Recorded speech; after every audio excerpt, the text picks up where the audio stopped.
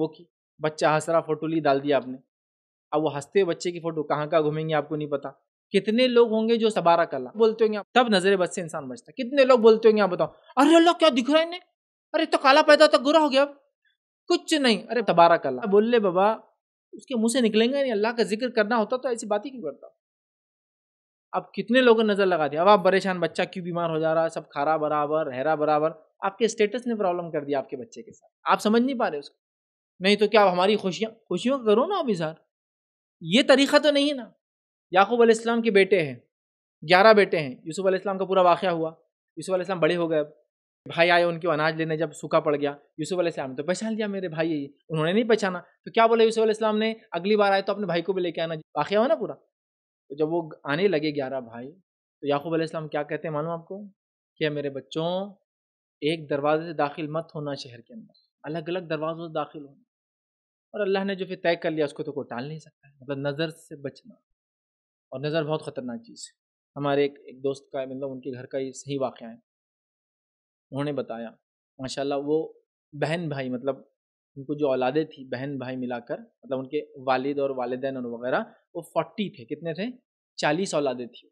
एक माँ से नहीं थी, ज़ाहिर सी बात उनको चार वाइफ्स थे और उनसे उनको चालीस औलादे थी, जिसमें से वो बता दें तेईस भाई थे और सत्रह बहनें थी।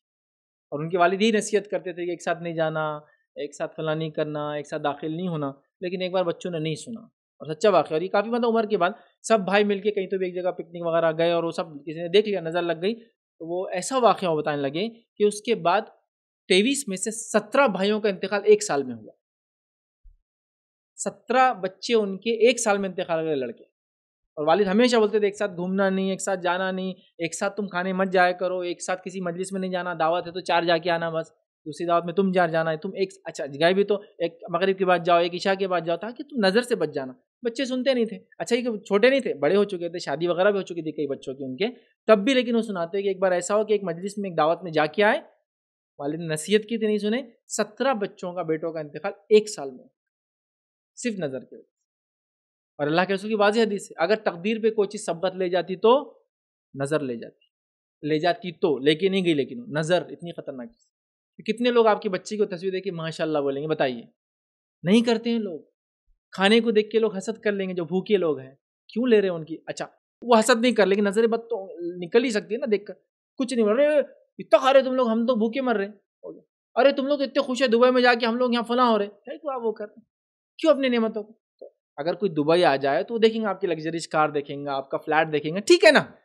फ़ोटो डाल डाल की क्यों आप अपने आप को लोगों को हसद लगाओ, नज़र लगाओ, नज़र बद लगाओ, हमको प्रॉब्लम में डालो, हमको? क्योंकि हम तो सोशल मीडिया पर उठा के यूँ छोड़ देते। असर बहुत खतरनाक होता है अंदर। लोग वो नहीं करते। तो लिहाजा प्रिवेंशन यही जो आपने कहा, क्या करे? एहतियात करे। हर नेमत पर छुपा के रखने की कोशिश करे। अल्लाह का ज़िक्र करे। सूर्य फला सूर्य नाच पढ़ के दम करे और किसी को आपकी नज़र ना लगे बोल के जब भी कोई चीज़ देखे तो माशा तबारक अल्लाह या बारक अल्लाह अल्लाह बरकत दे इसमें तेरे, जैसा अल्लाह ने चाहा, वैसा हो ऐसी दुआ दे दे तो इन मसाइल ख़त्म